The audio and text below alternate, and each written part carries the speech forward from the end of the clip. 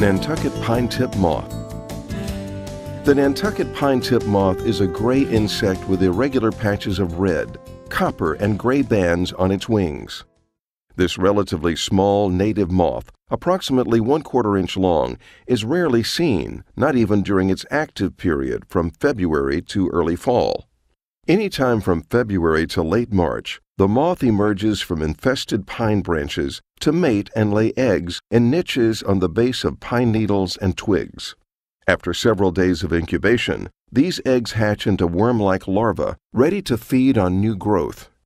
This yellowish white to light brown larva will continue to feed on new growth, moving down into the terminal buds until maturity. The larvae then pupate in the hollow feeding cavities.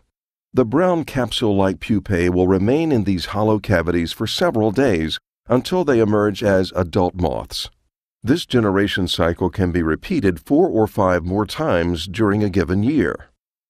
Damage to pines is caused primarily by the larva of the Nantucket pine tip moth. This damage is quite noticeable, with browning and dying of infested shoots.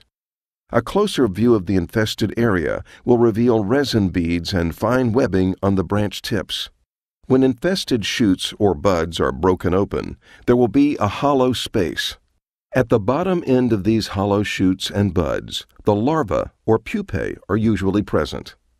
Often attacking loblolly pines, the larva of the pine tip moth will occasionally infest shortleaf, slash, and Virginia pines.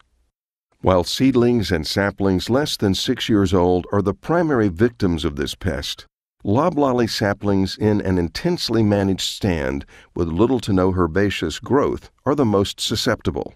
Stem dieback stunts the growth of the infested pines and creates a bushy effect near the terminal buds.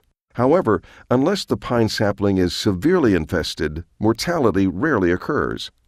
For an infested pine plantation, a control method is not generally recommended as it would not be practical or economically feasible. While there are insecticides that can be used to control pine tip moths, they can be quite expensive.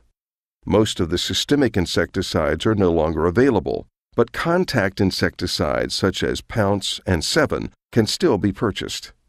Timing of application is very critical in the effectiveness of these insecticides, with the best time to apply just prior to the emergence of the adult moth.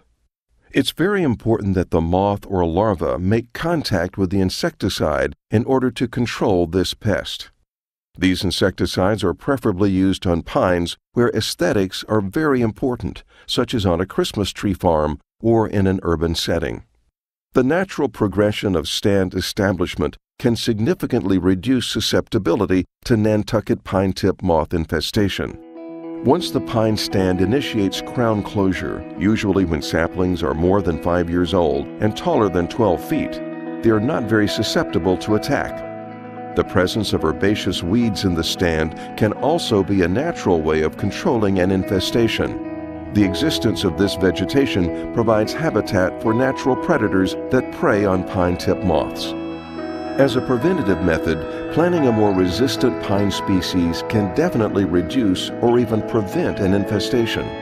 For example, if the site is suitable for longleaf pine, strongly consider establishing the site with this pine species.